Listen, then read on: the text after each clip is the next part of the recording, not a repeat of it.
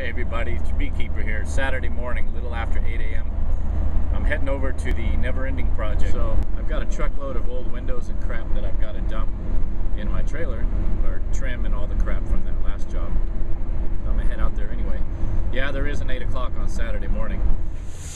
Work shots on this. He replaced, uh, which brick was it? This one. This one right there. That brick was messed up. Rebuilt this top step using the same bricks.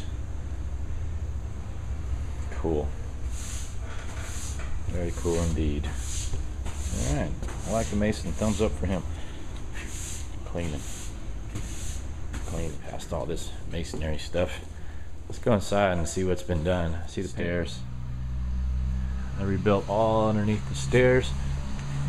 2 by 12s laid on its side with 2 by 8 No, those are 2 by 10 excuse me. Cross bracing. 16 feet of run up to the top landing. I'd replace the bottom 8 feet.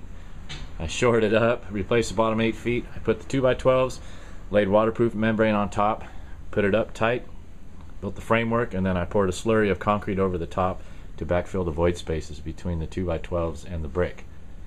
And then I did the second 8 foot run up here, doing the same thing, pouring a slurry of concrete down the top with the waterproof membrane 2x12s to fill the void spaces. And it didn't move. It's been over a year.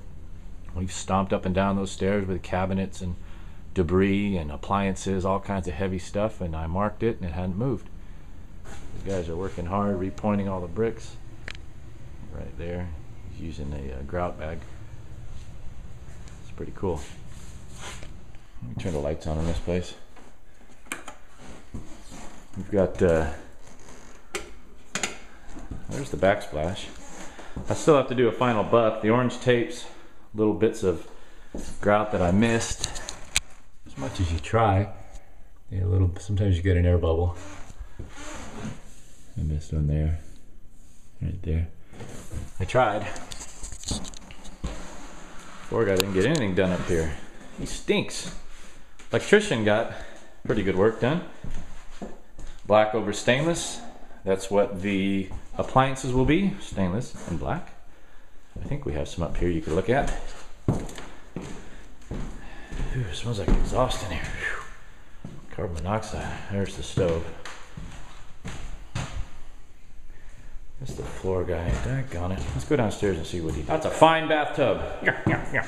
So you started stitching in the floors, repairs in the floor. And you figure this wood is close to 100 years old, this floor. So what this floor guy does, this is the back side of another floor that he ripped out of another house. He saves all the old flooring. He flips it over and uses the back side. So the black things are the like it's like the paper that they use. And then he'll come in and sand it smooth, fill the cracks, do whatever he's got to do. Wood filler. This is the downstairs unit. Paint that base. A water heater. You guys remember this room. This is the room we got the cement floor poured in a few weeks back. I tore the door off the out of the casing and all the trim was pretty rotten, so I deleted all of that. Hey, look at that, it's a door. It's Thursday morning. And uh, at the Never Ending Project. Put some baseboards down. I gotta go put some windows in at another house. We'll go take a ride over there. But I wanted to show you what I got done yesterday. Got this all trimmed out. Baseboard in. I demoed this door. You guys remember they had this door here. It's a little cobbled together mess. I got the overflow for the drip pans for the water heaters installed yesterday, all soldered up, drilled through. Some of my patches. You guys already saw this. Day for Saturday. Am I even getting my face? My day for today is just about done. Well, obligation wise. Now I can go home and play. Maybe I'll go ride the dirt bike up and down the street a little bit, see who I can anger. Thanks for watching.